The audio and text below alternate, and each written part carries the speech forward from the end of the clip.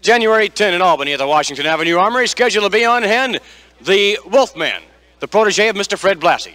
Also scheduled 1974 Rookie of the Year award winner Larry Zbyszko, as Larry will be locking horns with a 300-pounder by the name of Butcher Vachon.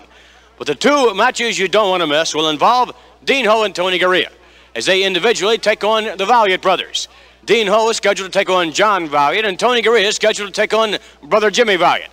This is really going to be something to see to determine whether or not the Valiant brothers are as strong individually as they are collectively as a tag team combination.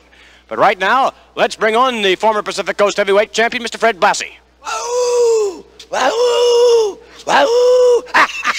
That's Blassie's new protege, the Wolfman. Wahoo! Wahoo! Whatever he annihilates these neck geeks, that's what he does. He howls like a wolf. This is a man I found up in the wilds of the Yukon, clubbing a wolf to death with his bare hands. And he wears that skin that he dismantled and tore off that wolf. He wears it into the ring, and I guarantee you, this is without a doubt is the meanest, the most vicious wrestler in the business today.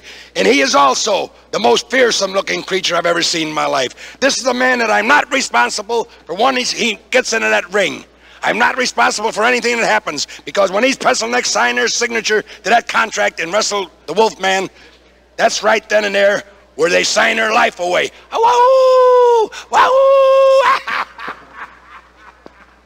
Fred Blassie, I'm sure all the Albany area wrestling fans are looking forward to the debut of the Wolfman. All right, now let's bring on Dean Ho and Tony Garea. And fellas, you have the Valiant brothers once again, only this time it's a little bit different. Uh, you're wrestling them individually. Lou Albano, I don't know if he's going to be around ringside or not, but perhaps that would not be a factor in the match in any event. Do you think, Tony, that you can take Jimmy Valiant on? Well, I, I don't want to make any any statements here on TV that I, I feel that I, I can't back up. He is um, he's he's a big man. He's 270 pound. I, I have wrestled him many times before. I feel I I know his uh, capabilities, and uh, it would just be a matter of capitalizing on his mistakes, Vince, and and and that's fully what I intend to do. And maybe, well, I don't want to say I will beat him, but uh, there's a possibility.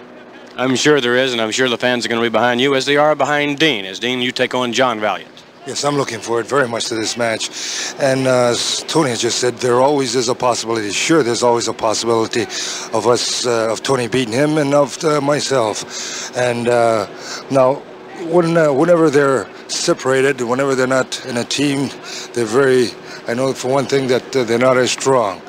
And this will give us a good break and uh, I think I'm, i think that uh, again, once again, the power of positive thinking by Vincent Peale is get out there in the ring and win. Thank you very much. Thank you, Vince. Dean Ho and Tony Garea, ladies and gentlemen, and they will indeed be facing the Valiant brothers in Albany and individual matches. And speaking of the Valiant brothers, let's bring them on now, along with Captain Louis Albano. Oh, Vince McMahon, they weren't able to cope up with champions as a tag team, and now they're trying them in single matches. Well, there's only one reason for this. When the men stand out here and talk, you you notice, you can definitely detect a fear in their voices. They are worried about the champions. They realize that they cannot beat the world champions, but money is the problem. As you know, there's a rumor around that this uh, Tony Garea filed, he filed for financial bankruptcy a week or two ago, and the man is, needs money desperately through bad investments investments and gambling. The man has no character, has no, you know, he's a very bad citizen, a bad person, and he spends all his money wastefully. Therefore, the man is in desperate trouble, has to accept matches like this, realizing he's going to take a tremendous beating, but there's no alternative. In fact, I even noticed a man with a rubber band around his shoe. He's not even able to buy good wrestling shoes. Therefore, he's in financial trouble, brother. But he's going to try. He's running scared, but there's no way out. What can he do? He'll have to face the world champions once again and be thoroughly beaten. You seem to be supremely confident that the Valiant brothers Check are. this band out about my wrist there, champ. Solid. Zoom in here, boy. You think it's from J.C. Penney downstairs, the budget's floor? That's solid gold, McMahon. See that strap, boy? That's solid gold, too. And you know you wind up wearing that stuff, boy.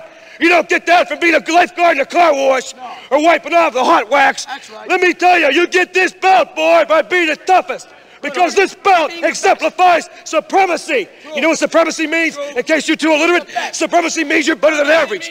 Better than average means you're better than the so-so run of the mill. Run of the mill means you're better than so-so every day. Pop the goody. And let me tell you something right now.